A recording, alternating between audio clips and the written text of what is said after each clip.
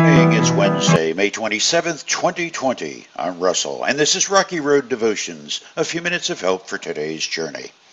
Our devotion today is entitled The History of Mankind, slightly abridged version. And our scripture is Psalm 99. The Lord is king, let the nations tremble. He sits on his throne between the cherubim, let the whole earth quake. The Lord sits in majesty in Jerusalem, exalted above all the nations. Let them praise your great and awesome name. Your name is holy. Mighty King, lover of justice, you have established fairness. You have acted with justice and righteousness throughout Israel. Exalt the Lord our God. Bow low before his feet, for he is holy. Moses and Aaron were among his priests. Samuel also called on his name. They cried to the Lord for help, and he answered them. He spoke to Israel from the pillar of cloud, and they followed the laws and decrees he gave them. O Lord our God, you answered them. You were a forgiving God to them, but you punished them when they went wrong. Exalt the Lord our God, and worship at his holy mountain in Jerusalem, for the Lord our God is holy. What is wrong with the title of this devotion? Short answer everything. From the title, you would expect the focus to be on humanity. That's certainly not the psalmist's perspective. Everything about Psalm 99 points to the character of God. Hardly are man's exploits in view. Just look at the wording. The Lord is king. He sits on his throne, in majesty, exalted. Your name is holy. You have established justice. He answered, He spoke, He gave. You were forgiving God. You punished them when they went wrong. Exalt and worship God, for the Lord our God is holy.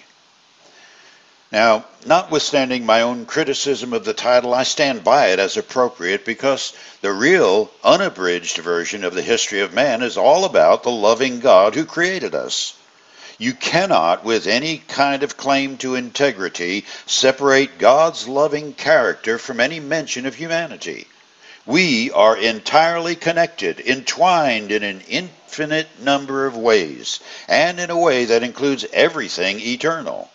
And so, our history is rightly connected to His nature. We belong to Him.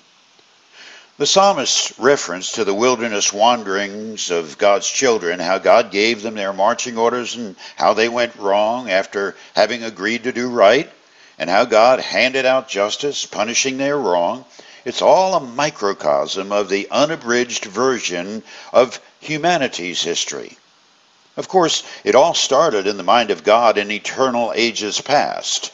However, our memory begins in the Garden of Eden God created Adam and Eve perfectly, placed them in a perfect environment, gave them perfect instructions how to live, and offered a perfect relationship based upon perfect loving kindness, perfect providence, unbound by strings of any kind. We get it that there was no racism, murder, or COVID 19 in God's plan. Then freedom became too much of a temptation, and Adam and Eve left the reservation. It began with questioned faith about God's love and care for them.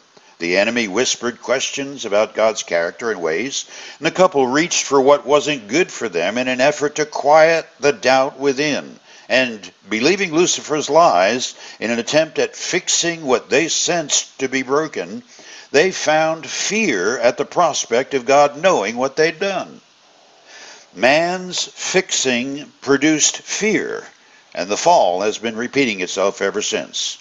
And so has the forgiveness of God for the fallen, sinful children of the first couple.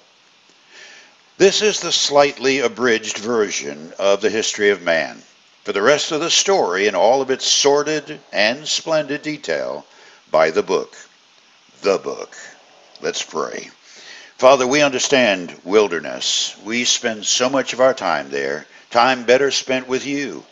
Help us change history, that which lies ahead of us. Help us to place our hearts and minds' focus on you, the place and face where we find faith and peace. For you today, the best thing about history is when we focus more on his story and learn from our messy failings where true peace and meaning lie, waiting for those hungering and thirsting for it. You chew on that as you hit the rocky road. Have a blessed day.